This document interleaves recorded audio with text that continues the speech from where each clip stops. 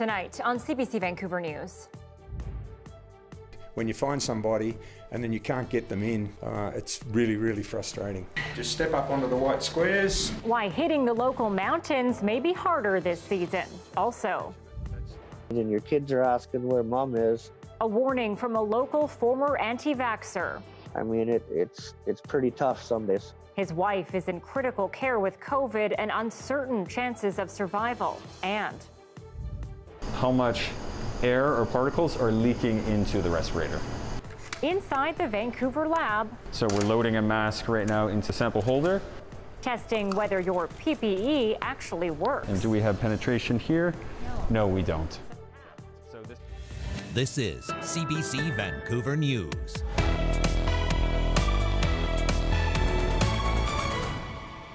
Good evening and thanks for joining us. Well, Canada has lifted its blanket advisory against non essential travel outside the country.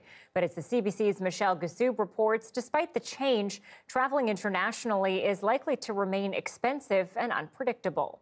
Uh, there was lots of cancelled flights involved. There was um, lots of phone calls uh, to airlines. Traveling during a pandemic, not for the faint of heart.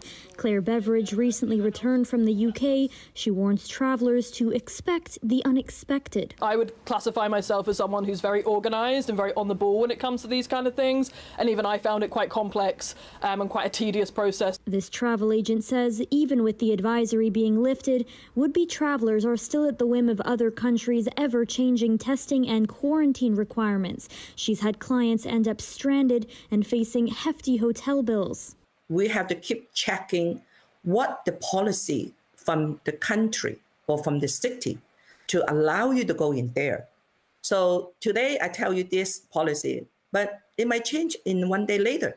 Earlier this week, Hong Kong banned Air Canada passenger flights from Vancouver for two weeks due to a COVID 19 exposure. Premier John Horgan cancelled his trip to Washington state, citing testing concerns. Uh, so having to get a test in Vancouver to confirm that I was traveling uh, outside the country didn't make any sense to me. Uh, the borders are not open to all British Columbians yet, so uh, I've canceled the trip. Uh, I very much regret that.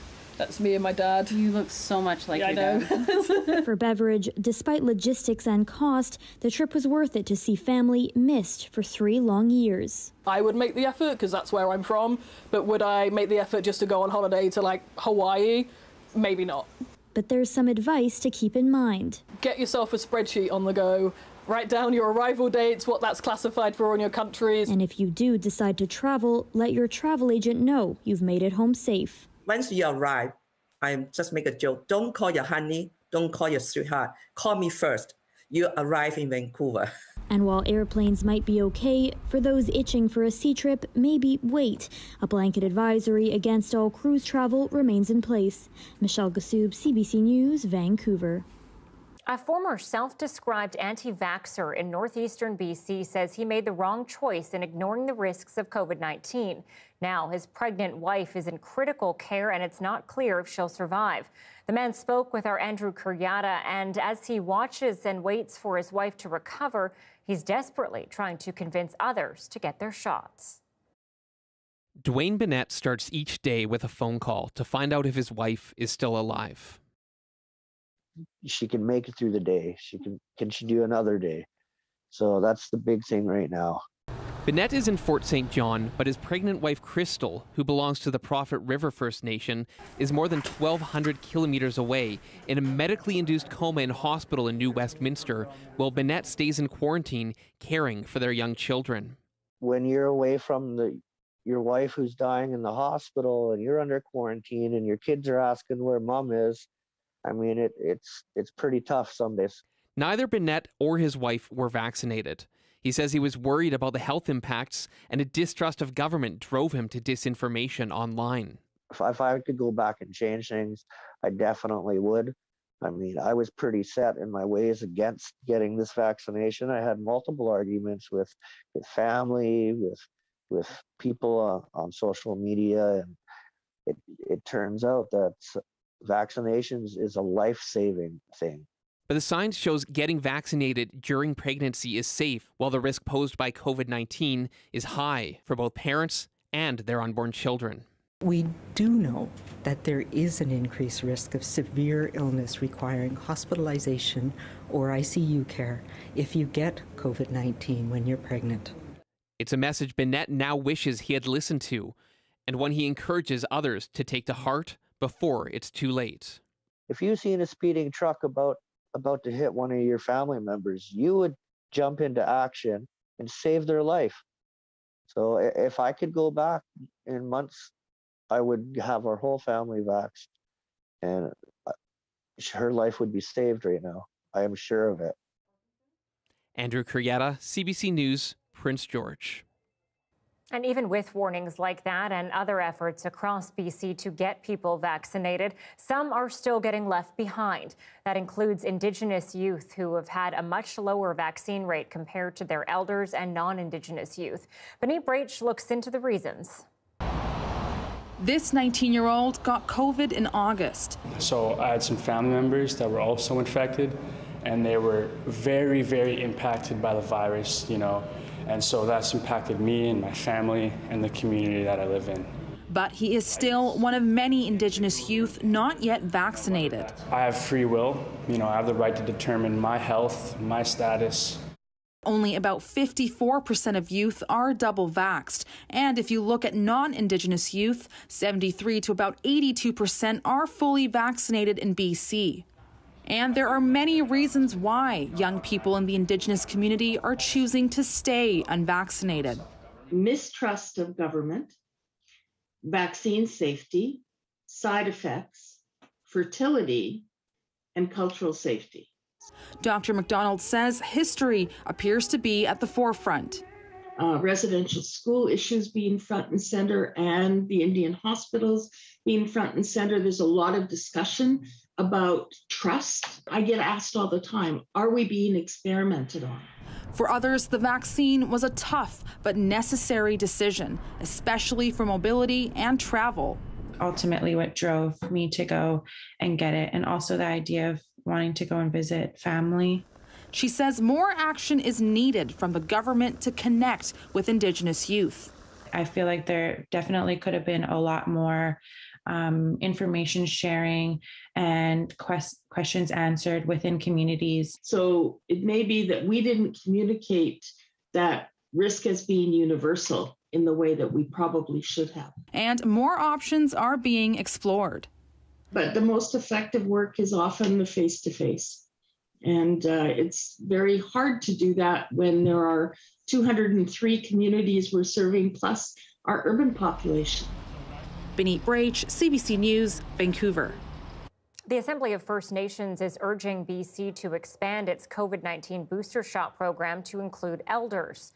In an appeal to BC's top doctor, the AFN is calling for immediate action, saying Indigenous leaders are concerned about rising infection rates and breakthrough cases. During the pandemic, designated vaccine clinics opened in some Indigenous communities, and around the province, many of those communities have been closed to outside visitors to prevent the spread of infection.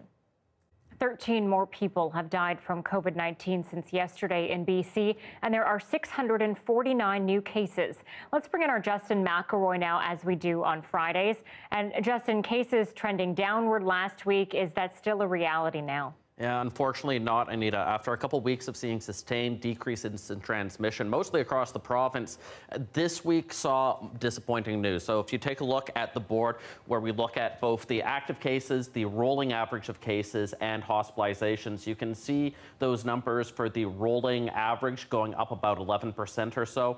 Active cases as well going back up slightly after a few weeks there of really good news. So uh, the province still believes that its current framework is working in order to decrease transmission. At least for the last seven days or so, we didn't see it. And with the province allowing 100% capacity for events, there's a little bit of concern in some circles over what we might see as a result of that in the weeks ahead. No doubt we'll be watching closely. And you know, we've said for a while now that BC's north is particularly concerning, but it seems to be getting worse. So how bad are we talking here? It's about the same level in the north as all of Alberta or Saskatchewan right now in terms of transmission. I want you to take a look at this next chart. It shows the per capita case count, the rolling average in all five health authorities in the province. And you can see northern, not only is it much higher than anywhere else in BC, it's had this huge spike up in the last week, even higher to where it was before. So you see, you know, sometimes we talk about a tale of two pandemics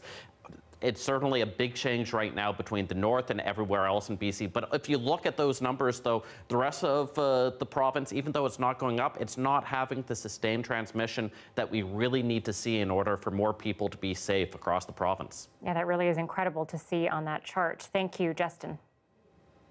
More than 1,500 workers at LifeLabs clinics across the province are going on strike tonight. They served a 72 hour strike notice on Wednesday after months of failed negotiations. Workers have been without a contract since April, and wages appear to be the main sticking point. The union says their job action begins tomorrow with a rally at a Burnaby lab.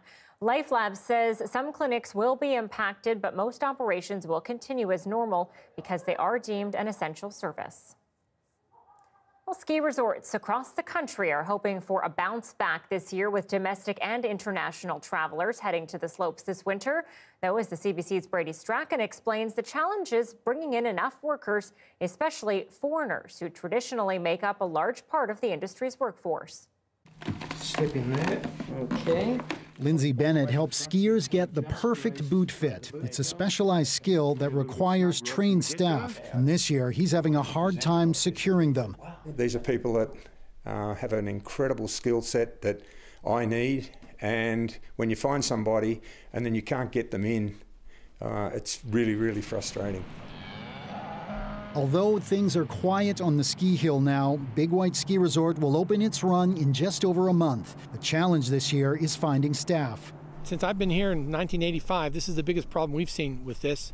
Big White hires 600 workers, many of them from abroad on working holiday visas. But so far, they have less than half that number secured. He says many potential workers are pulling out as Canada hasn't approved their visas yet that's a shame because like the project was already like set and and I was like I was thinking I'm gonna I'm really gonna work in Canada this winter. So uh, I now I have to change my plans. Ski areas across the country are having trouble bringing in enough workers. The Canadian Ski Council says up to 30% of positions may go unfilled. The industry is asking Ottawa for help bringing in more foreign workers by processing more visa applications and extending working holiday visas for workers already in Canada. This is a two-stage gondola. So Revelstoke Mountain Resort is also feeling the labor crunch. The ski lifts will be fully staffed, but other parts of the resort could suffer. Probably some of the most challenging areas are in our food and beverage operations and really in our hospitality sector as well as the hotel operations, uh, particularly around culinary and housekeeping roles. That could mean restaurants open shorter hours or limited services at hotels. Back at Big White, the resort is predicting a busy year on the mountain with lots of overtime for the workers they do have. Brady Strachan, CBC News, Big White Ski Resort, British Columbia. Vancouver police have arrested a man seen walking downtown waving what appeared to be a gun. The 54 year old man was taken into custody last night. He's alleged to have a replica handgun and other weapons in his possession. The man was seen Tuesday morning holding and pointing the gun, realistic looking, but it was a fake. He was also seen on surveillance footage making threatening gestures. Police are recommending firearms related charges. The BC Court of Appeal has unanimously dismissed the appeal of a Surrey mother convicted of killing her eight year old daughter. A warning to our viewers this story does contain some disturbing details. Lisa Batstone was convicted of second degree murder after smothering her daughter, Tegan, seven years ago. She appealed her conviction and sentence after the trial, arguing her mental health was not given enough consideration and that manslaughter was a more suitable charge. In a written decision, the court determined the trial judge may have made errors, but they were harmless and did not impact the outcome. Batstone was sentenced to life in prison in 2019. Well, it was a historic agreement that gave a BC First Nation in the Northeast more control over its lands. Now it's rippling through the energy industry. The case involves the Blueberry River First Nation. As Kyle Bakx reports, they successfully argued too much development in the territory limited their treaty protected right to hunt, fish, and trap. Hovering more than 100 meters in the air, Chief Marvin Yahey surveys his community's territory, the many sun soaked lakes and forests, and all the development too, from oil and gas sites to forestry and farming. What Yahey can't see are any moose or caribou. That's why the Blueberry River First Nations took the provincial government to court and won. This summer, the BC Supreme Court ruled the province failed to maintain the nation's rights to hunt and fish, saying while not one single project was to blame, all the development had a devastating effect on the community. Now, the First Nation has signed an interim agreement with the province, and the chief says gained decision making power. It's extremely important that our views are taken very seriously. Many other First Nations could take similar court action, including those in Alberta's oil sands. That really does change the law in Canada and, and, potentially opens the door to similar claims all across the country. There are concerns about the economic fallout and difficulty getting projects built. Companies are making spending plans for next year amid an uncertain future. So there's a lot of money at stake for them. The BC government could have appealed the lower court ruling, but in the spirit of reconciliation, decided not to. We believe it's the right way forward, and we're committed to working with the nations, and indeed all of Treaty 8 nations, to achieve a better outcome for all in the future. About 85% of blueberry territory is within 500 meters of an industrial site, showing how little of the land is untouched. The places that I grew up in you know, hunting chopped and, you know, there, there, there's nothing there now. Chief Yahey says the Blueberry are not opposed to development as many members work in those local industries. He just wants a say in how it is done. Kyle Bakx, CBC News, Fort St. John. Right now, there are about 40 shipping containers floating off Vancouver Island. The MV Zim Kingston was bound for Vancouver when it came across some rough seas early this morning and the containers fell uh, overboard. They have now been spotted about 70 kilometers west of the entrance to the Juan de Fuca Strait. The Canadian Coast Guard has issued a navigational warning for other ships in that area, and it is assessing the possibility of pollution or other hazards from the containers. Okay, we're going to a story in Tofino now where some surfers are enjoying the extreme weather. Take a look. Yeah, exciting. It's totally exciting. An intense weather system rolled in yesterday, bringing winds as high as 100 kilometers an hour. The strong gusts of wind knocked out power to parts of Vancouver Island, and the coast is bracing for more. Johanna, I think uh, they're uh, of the few maybe that really love this weather. it's true, Anita, uh, but I'm not alone. I've got to tell you, uh, meteorologists right across the Pacific Northwest, well, we've been talking nonstop all day about this next storm. But let me take you back to pictures because this is uh, going to be our third of three storms. You can see more pictures from across the island yesterday. Those 100 kilometer per hour wind gusts bringing down trees leading to uh, the widespread power outages. And as we mentioned earlier in the fall season, uh, some connections to the heat dome, a lot of our trees extra stressed and weakened. So big windstorms are of a concern, and that's why we're especially concerned about the storm Sunday night into Monday. It is just forming as it tracks towards uh, the south coast for Sunday night, uh, going through a process called bombogenesis. I cannot make that up. That's a meteorological term uh, but I'm going to let Armel Castellan from Environment Canada, who shares my uh, nerding out on the storm, by the way, uh, take you through that definition. The nerd in me is totally obsessed with looking at how strong this is going to get. A weather bomb, technically speaking, is when there's so much cyclogenesis, which is a fancy term to say that it's a deepening storm, and that it deepens at a rate of 24 hectopascals or millibars in 24 hours. In this case, it's doing much more than that. It might even be 40 hectopascals in 24 hours, um, which is extraordinary, and that's why it's so academic and so interesting. See, I didn't make up that term. Uh, cyclogenesis happening, but it's happening so quickly. We call this bombing out. So here are the special weather statements that Environment Canada has already issued.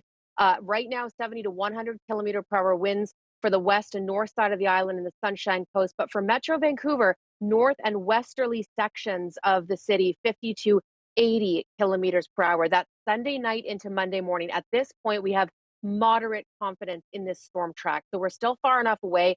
Those winds could e- increase or decrease as we watch this storm begin to take form. So it's really just beginning its deepening process. But as it approaches, we're going to see waves really pick up for Tofino. It's going to stall out just off the west coast for Sunday, uh, weakening as it does so, but uh, big surf and big waves, a certainty for the west coast of the island. It's exactly how strong those winds will get for Metro Vancouver that we'll have to keep you posted on. I'm going to break it down uh, coming up later on in the show, but also be watching this throughout the weekend because, Anita, this has the potential to be uh, one of our most significant wind events that we've seen in some time. So uh, I'll take you through the uh, deep and probably try and throw in Bombogenesis one more time. Who am I kidding? I was just gonna say, I think there's a song in there somewhere. I'll wait I for it with think you so, two, with you two uh, nerdy weather people. Mhm, We got this. Thanks, Joe. You're welcome. And we want to show you now photos of those 40 shipping containers that are floating off Vancouver Island. Take a look at this.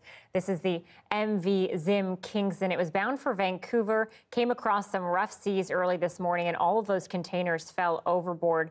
Uh, the Coast Guard has issued a navigational warning for ships in the area and trying to figure out if there's been any pollution that's gone into the water or any other hazards from those containers. We'll be keeping a watch on this tonight, and Dan will have more at 11 o'clock. Okay, so I got to go on a little bit of a field trip today to Vancouver General Hospital. Take a look. The pandemic has made the importance of PPE clear to many of us, but for healthcare workers, they've always known it's vital in protecting them. We are at Western Canada's first accredited PPE testing lab, making sure the gear is up to Canadian standards. So, first off, why and how was this lab created? At the beginning of the pandemic, Vancouver Coastal Health, in conjunction with the Ministry of Health and Provincial Health Services Authority, recognized the importance of ensuring that every piece of PPE, whether it's a mask, an N95 respirator, or a gown, met stringent North American standards. There are so many things that can be tested in this lab. So, what are you actually testing for? We're testing for the particle filtration of mask and N95 respirators, the fluid resistance, the flammability, the breathability of it, and we're also testing uh, the fluid resistance for the gowns. Okay, let's go check out these tests. Sounds good. Uh, what we're doing right now is we're using beeswax to form a seal around the respirator so it fits into the uh, containment box because it has to be an airtight system when assessing filtration efficiency. And so this test is, assess- is really assessing the material respirator itself and how well that filters out uh, aerosols. And how many times would you perform a test like this on each mask? There's different uh, different protocols and different test methods, so it really depends on what the end user is going for. It could be a few samples, it could be up to 20 samples, or large production lots, it could be uh, uh, beyond that. So this test is one of the standard test methods for medical masks uh, that we assess the fluid resistance of. And so it uses synthetic blood at fixed pressures to make sure that the mask is not going to allow penetration of blood. And what we do is shoot it with two mils of synthetic blood. And as you can see looking at the mask, it hits the mask and we look for penetration of synthetic blood. Looking at the back, we do see a little bit on this sample. Okay, so this station here is for, it's called quantitative fit testing of N95 respirators. So this test is to ensure that respirators will form a good seal on your face. And so this containment area here is to ensure that the aerosol we generate in the corner there stays within the, within the area here. So I will get you to put on a respirator. And you can take off your medical mask. So there will be a series of exercises that, we, that I will ask you to do. And the first step is just normal breathing. So just breathe in and out normally. And so what's happening here is we have two hoses. One of them, the blue one, is sampling the ambient air, and that's giving us the particle concentration in ambient air. The other one is attached to the respirator, and so that's sampling within the airspace within the respirator, and that's giving us the particle concentration inside there. And it's the, that ratio of those two particle concentrations that lets us know how much air or particles are leaking into the respirator.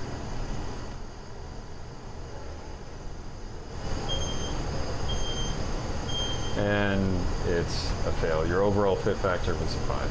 I failed. So that respirator is not a good fit for you. So to pass the test, you need 100, and I seem to have five. This is not a good fit. A horrifying accident on a film set, one that saw actor Alec Baldwin shoot and kill one of the filmmakers. More details emerging from a production that was facing a slew of issues. Next.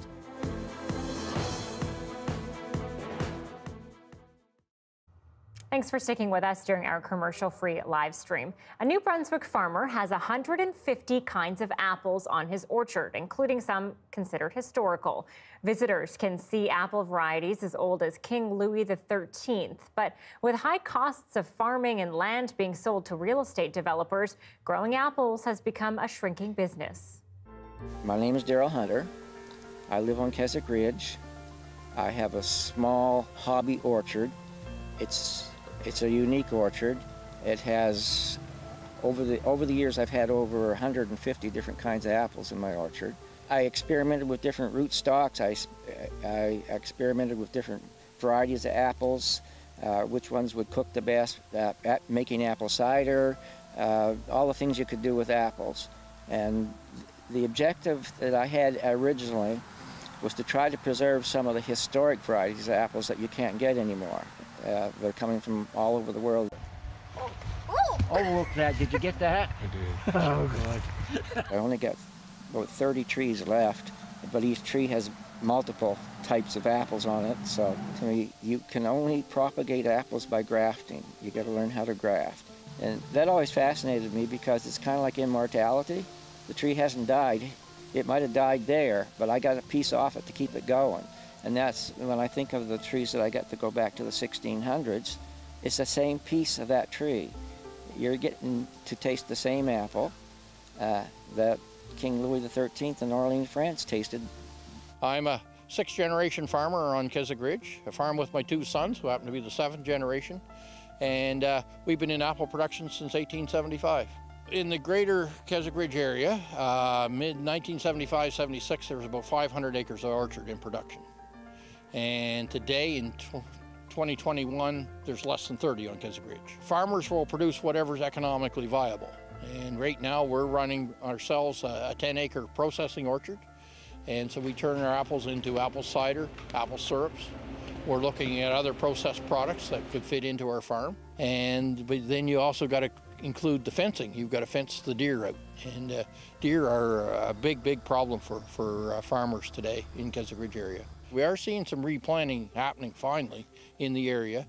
Uh, these are new farmers coming in and, and getting involved in, in apple production. Uh, a lot of the historical, there's only three of us left that have got some orchard from, from back in the 70s.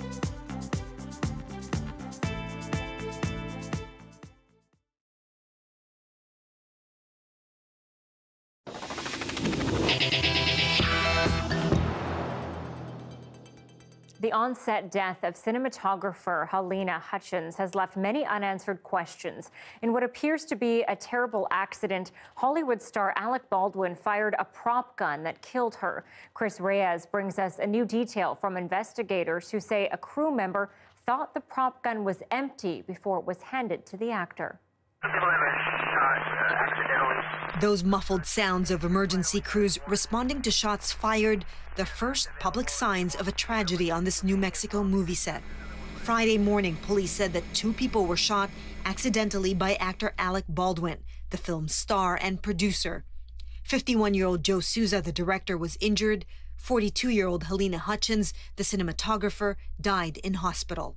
We really lost an amazing friend here and beautiful woman, talented woman, and we all know how difficult it is to to become a cinematographer in Hollywood, you know, and she actually did it. So that profession was a dream come true for her. Baldwin was seen in tears outside the Santa Fe Sheriff's office. He later tweeted, There are no words to convey my shock and sadness regarding the tragic accident that took the life of Halyna Hutchins. The actor also said he's offering support to Hutchins' family, including her husband and young son. Police said some kind of projectile hit Hutchins when Baldwin discharged a prop weapon. The movie Rust is an American Western. We work with actual real firearms. A lot of people are under the impression that these are movie guns or that they are somehow uh, a film gun or a film weapon. That's not true. There have been prior complaints from workers about unsafe handling of guns on set. Hutchins made this video just days ago. Her friends remember a talented filmmaker who was dedicated to her craft and defied odds when she moved to Hollywood from Ukraine to follow her dream. I am pretty much sure that she would love that film to continue because as a director of photography, she worked so hard to receive, to actually make this possible to be there as a cinematographer. Police have not laid any charges. The Screen Actors Guild union is also looking into what led to the shooting. Film sets must follow strict rules when using weapons. Chris Reyes, CBC News, New York. A CBC Marketplace investigation reveals hundreds of illegal CBD products are being sold on this country's thriving black market. Going undercover, the team found they are easily available. And as Stephen D'Souza reports, some salespeople are making misleading health claims about them. And then we do have tinctures, which are like oil droppers for stress, anxiety, insomnia. They operate right out in the open, unlicensed stores selling CBD or cannabidiol a cannabis extract that's touted as a wonder drug that some promise can heal without getting you high. So whatever your body needs, whatever the oh, situation is, CBD will help that. It's like it can do anything, really. Kind of like a superpower almost. But as our marketplace hidden camera investigation shows, the products they're selling online and in stores and the health claims they're making are all illegal. And experts worry mislabeled ingredients and possible contaminants could be putting Canadians at risk. Canadians are buying these products, and in the absence of evidence, they are going by marketing claims, and that's a real problem. CBD is legal in Canada, but here, unlike the US, CBD is a controlled substance. That means only government licensed retailers can legally sell it. That hasn't stopped the sale of illicit products, everything from oils and creams to gummies and pet products. And because CBD is a controlled substance, Researchers, even Marketplace, can't legally test them. U.S. researchers found many similar products mislabeled or containing undisclosed THC. These products can be acquired by anyone in Canada with an internet connection and a, uh, you know, a credit card, but you can't actually test what all these people are using, which seems very counterintuitive. While CBD does show promise for treating a host of conditions, experts say the price does add up, and more study is needed including how CBD interacts with other drugs like opioids and blood thinners. It is not cheap, and let's remember there's no utopia. I would say maybe one in three individuals might find benefit from this. In a statement to Marketplace, Health Canada wouldn't say if they'll remove CBD from the list of controlled substances. They said they are reviewing the laws around cannabis, but a report won't come until about 2023. Stephen D'Souza, CBC News, Toronto. Watch the full investigation to find out what happens when Stephen D'Souza tries CBD tonight at 8 p.m. on CBC and CBC Gem. A warning tonight from the government. If you get laid off because you won't get a COVID vaccine, don't count on support from Ottawa. Why you might not be entitled to EI. That's next.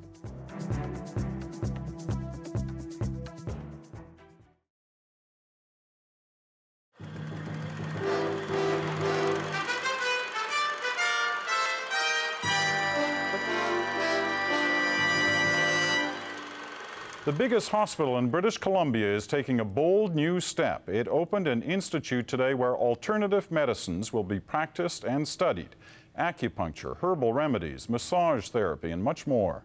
Here's the CBC's Ian Hanomansing. It's not what you'd expect to see at a Canadian hospital, influencing the body's energy with healing touch.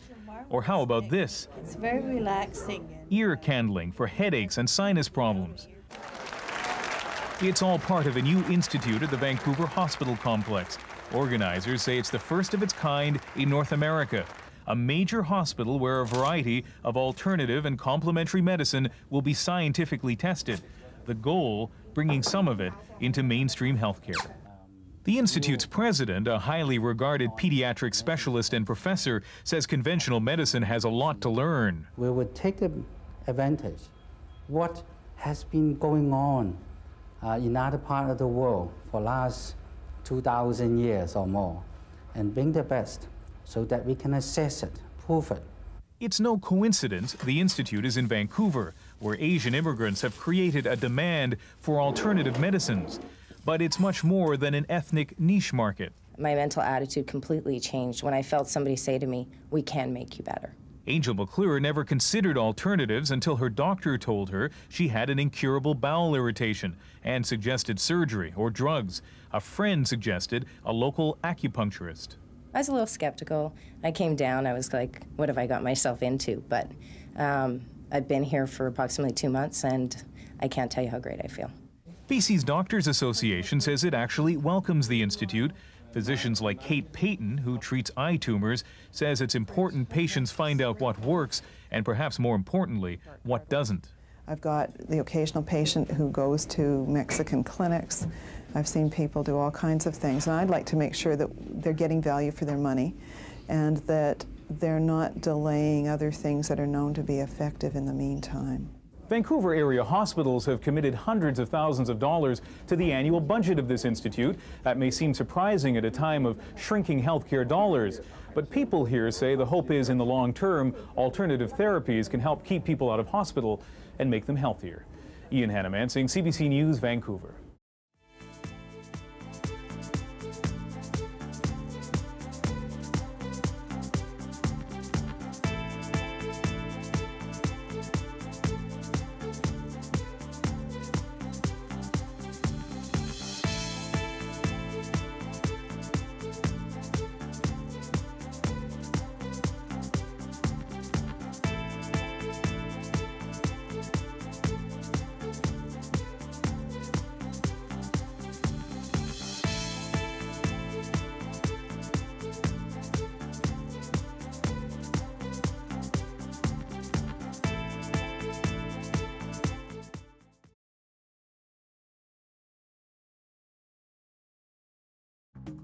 Are some of the stories we're following tonight on CBC Vancouver News.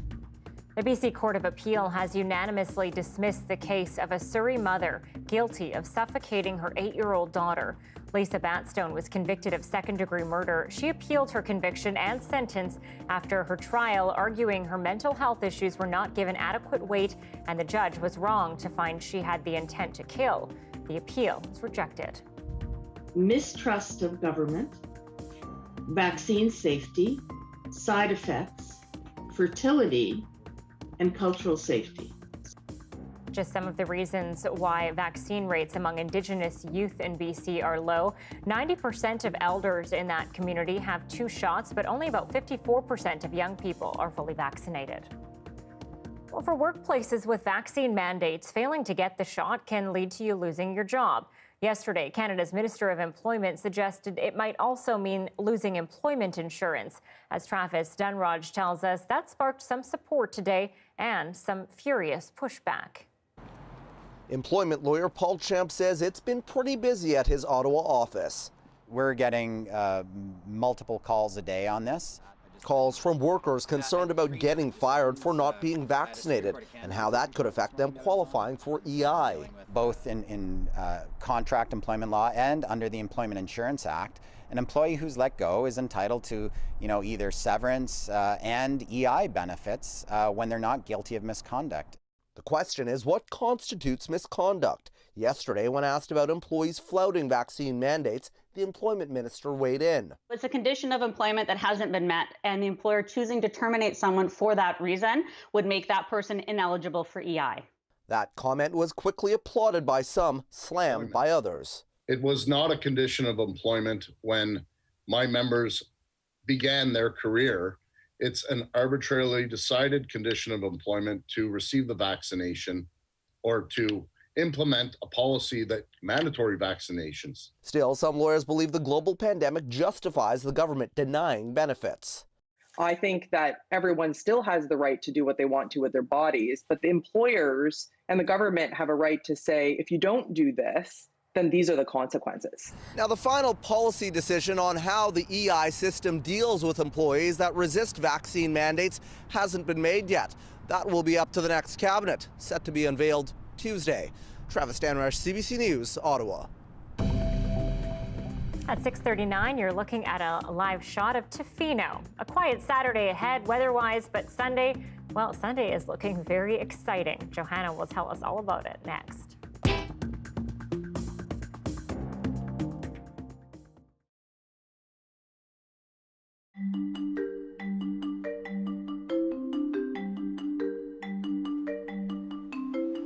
Dr. Allison Novak. I'm a scientist here at the Kite Research Institute at the University Health Network.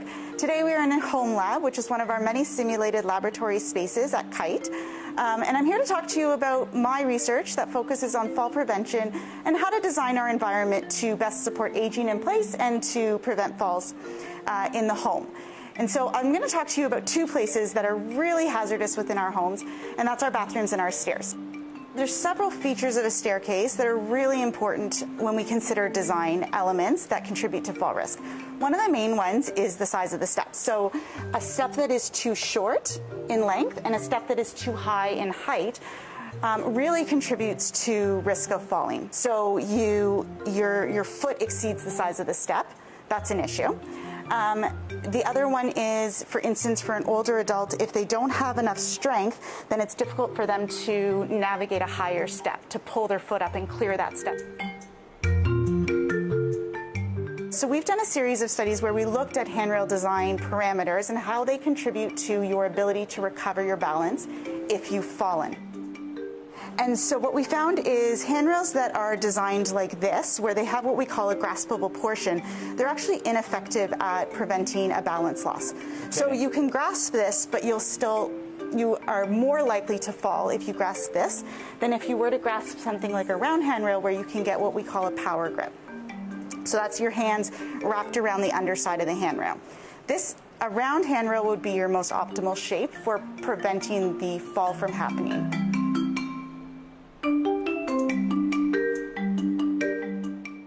Bathroom is one of the riskiest places in your home. Not surprising because there's a lot of hard surfaces um, surrounding you. So if you were to fall, you're two and a half times more likely to sustain an injury in your bathroom than other locations of your home. So preventing injurious falls in the bathroom is really critical to support um, safe aging in place. Of bathroom falls that occur, the riskiest task is stepping into and out of your bathtub. So um, this is not surprising because what you're doing with this task is stepping over a large obstacle, that's this bathtub rim, and then you're stepping onto your bathtub surface, which is uh, likely covered in soapy water, the most important way that we can help prevent falls and support the task of stepping into and out of the bathtub is to install an appropriately designed and secured grab bar. So what we do, what we want is to um, have a grab bar that's mounted vertically at the entry point of the bathtub. Um, and this allows someone to grasp it proactively as they step into and out of the tub and support their balance. The grab bar should be designed such that you can get a power grip, same as a handrail on the stairs. We want to achieve a power grip with a grab bar. And we also want it to be long enough so that you have a large area by which you can select your, your grasp location to support your balance as you transfer.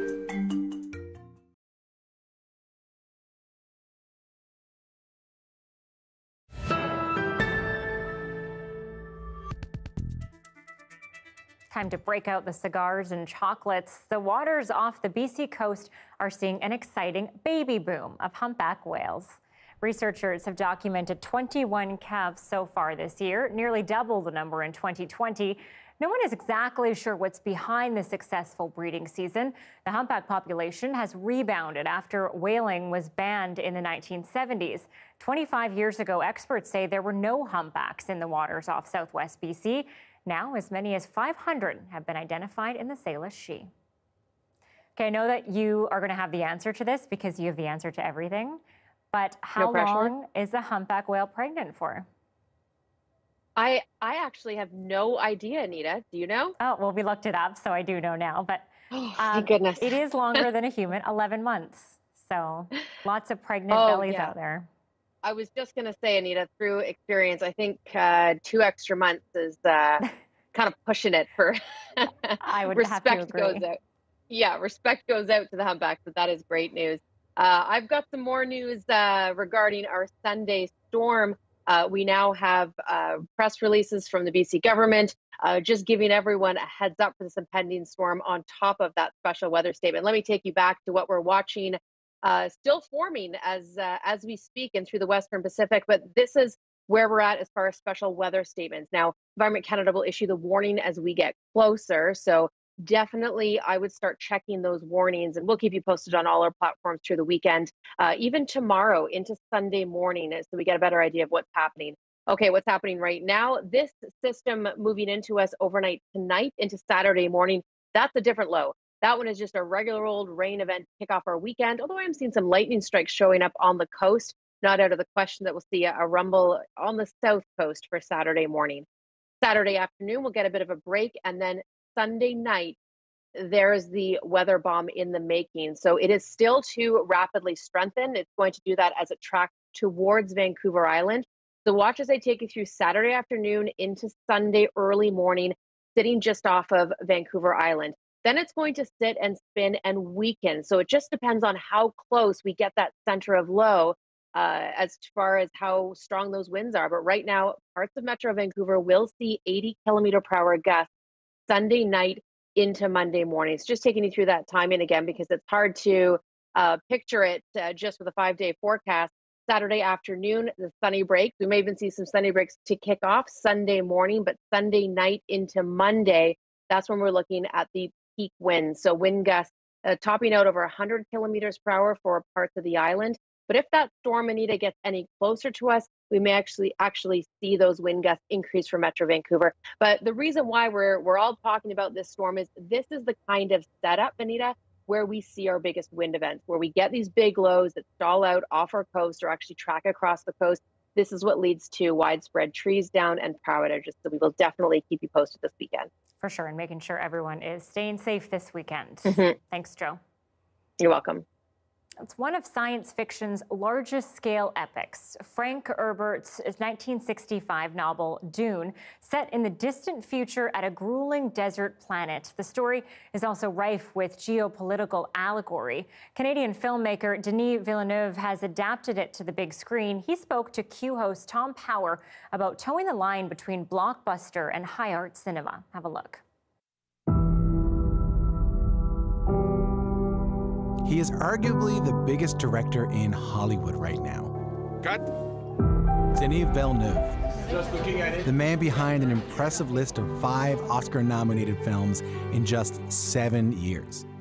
Ranging from his breakout hit Incendies to the cramped shootouts of Sicario to the vast futuristic vistas of Blade Runner 2049 and Arrival.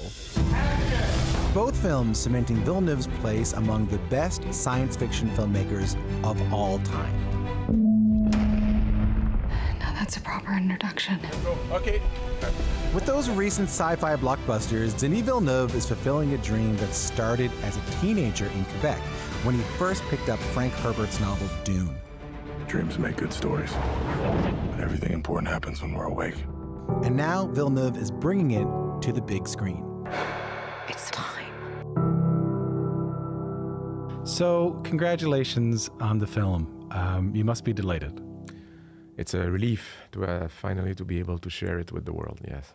So, you were 13 or 14 years old or something like that when you first came across the book. Yeah, it's a, it's a, at the time I was like a, a teenager that uh, I was kind of uh, into sci-fi. I'm try- I was uh, reading everything that uh, I could find at the time, and, and uh, Dune had a striking cover and the title, and I felt in love and spontaneously with it. I mean, there's uh, something about the journey of the main character, Paul Atreides, his feeling of isolation, the way he was struggling uh, with the burden of, uh, of his heritage, all this weight on his shoulder, and and uh, then finally being able to find freedom through the contact with another culture, I thought was a beautiful idea. And when I, I discovered the book, it was in the same time that I, I, was like uh, discovering what's the work of a filmmaker. I was getting more and more interested about what happened behind the camera. So it, there's a kind of coincidence between uh, discovering Dune and, and starting to dream of uh, making films. And it was like uh, just like a fantasy, but uh, it took me a while before I thought that I could one day bring this movie to the screen. Were you apprehensive at all when it finally came your way? Um, I was apprehensive to that. My, my fear was to not be able to please that teenager that uh, dreams so big at the time because it can just be disappointing. I mean, it's like an impossible task to bring to life uh, uh, something that has been so close to, so, so close to your heart and, and your and soul and that you dream for 40 years. And um, when I do movies, I um, try to put all my chips on the table. I, I love to jump and without having any net uh, to say no. But seriously, it's like art. I, I would have ate myself all my life if I if I had not tried it. Where do you think that comes from in wanting to jump without the net? Artistically, I must say. No, yeah, yeah, right, of course. No, yeah, we don't have anything set up outside the door or anything like that. You know.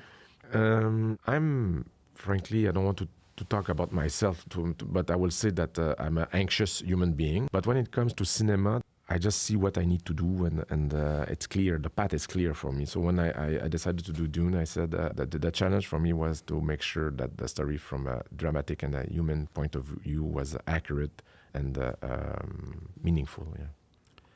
I know it's meaningful also that this people see this in theaters. Are you nervous at all? I mean, through the pandemic, we saw so much movie watching, which had already been uh, declining in people going to theaters. People, more people were watching at home. Are you are you are you ever worried about it? I'm worried. I mean, uh, and the fact that uh, the pandemic ap- ap- happened and a very bad timing for cinema, where, where, where we were like, but I'm optimistic too. I think that uh, uh as human beings, we need to uh, share experience with others. I mean, when we go to a rock concert, uh, we don't want to be alone in the room. I mean, it's the same with cinema. You cannot go through this experience at home. It's it's it's something that uh, can be only reproduced in, in theaters, and I think that um, the big screen will will prevail, and uh, that's the, it's part of the language of cinema. Do you still feel like a Quebec filmmaker? Is that is that still in these films you're making now? I think so. Yeah. Frankly, uh, my uh, influence are still uh, very French Canadian, very from Quebec. So I'm like, uh, there's something about that that I still feel it, it's in my DNA.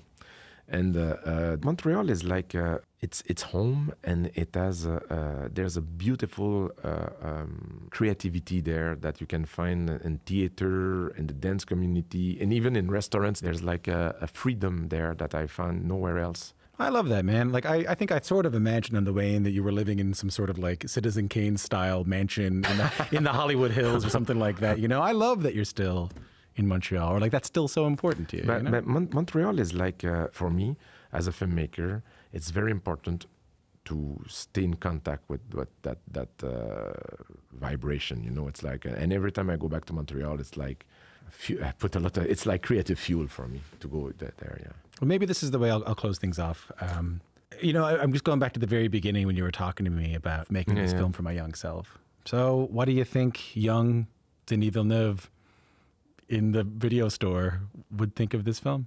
Honestly, I, w- I would say he will say not bad, not bad, because there's moments in the movie that are very close to that spirit. And every time, frankly, it brings tears in my eyes because it's the first time that this part of myself was able to express it, itself, and and uh, it's like a freedom to finally be honest that I, I, I deeply love. And uh, if you were saying me, someone was coming inside the studio saying, "Okay, that's enough. No more movies for you. You did it, and it, and it, cinema is over." My first feeling would be gratitude, because I will say that was a, a ride. I I, I, uh, I, was I feel so blessed that I had the chance to, at least one time in my life, went into that zone of, of uh, and yeah. I love that. yeah. I can't wait to see it. I'm looking forward to having you back when it happens, and always nice to talk to you. Thanks for coming in. Thank, thank you very much. Thank you. A fortune telling pug is blowing up on social media, all because of his daily predictions using his bones or not. After the break, meet Noodle and his owner.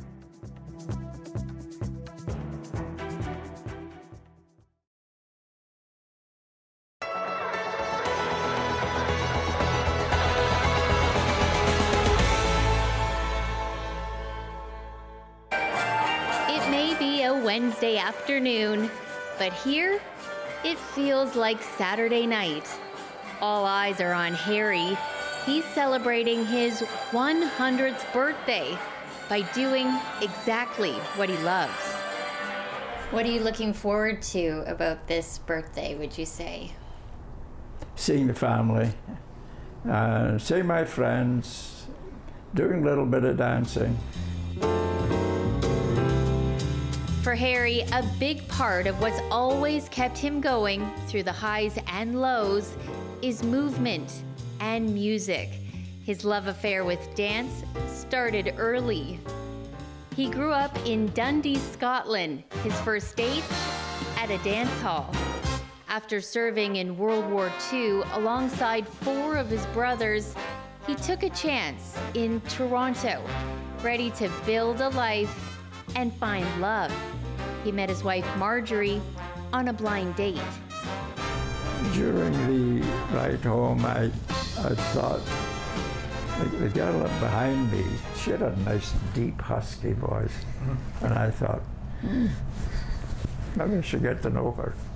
So the next day after the dance, I went up to her house and knocked on the door and said, thank you for the, being my partner for the evening. And so on, one thing led to another, and another led to.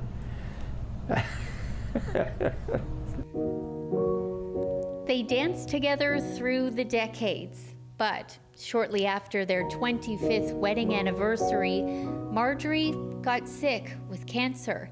Harry says the diagnosis came much too late. At just 63, she passed away. Harry found himself without a partner in life and on the dance floor.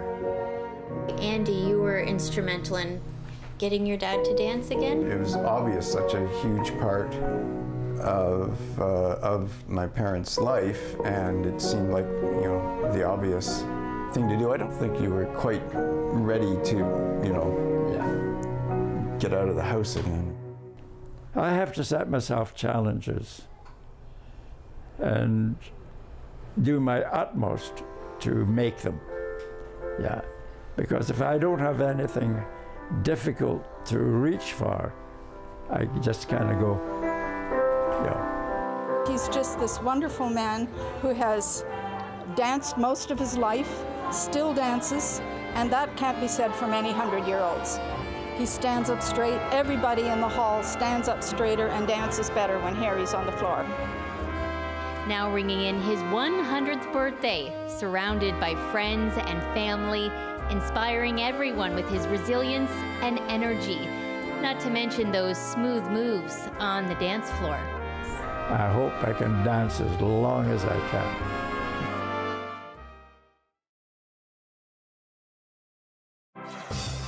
Hi, I'm Amy Bell, and here's what's in your CBC Vancouver inbox.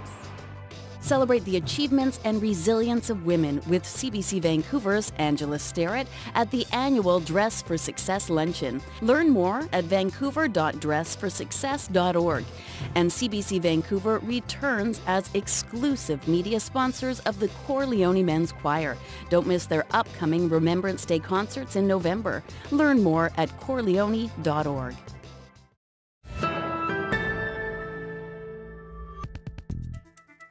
Okay, do you wake up every day wondering what will happen during the day? Well, a pug in New York City is giving us a little bit of insight. Now, I don't know about you, but it was like one o'clock in the morning. I was getting ready for bed, and I was I was hoping and wishing for a Bones Day. Oh my gosh! And we got one. Oh, this is Noodle, a 13 year old rescue pug. His owner, Jonathan Graziano, films himself trying to wake up his pup each day. If he stands, it's a bones day, meaning it's the day to get stuff done. If he falls back into bed, it's a no bones day, and it's okay to take it easy. Noodle already had quite the following on social media before blowing up on TikTok. The pair visited the Today Show recently, where Graziano said the attention has been pretty overwhelming.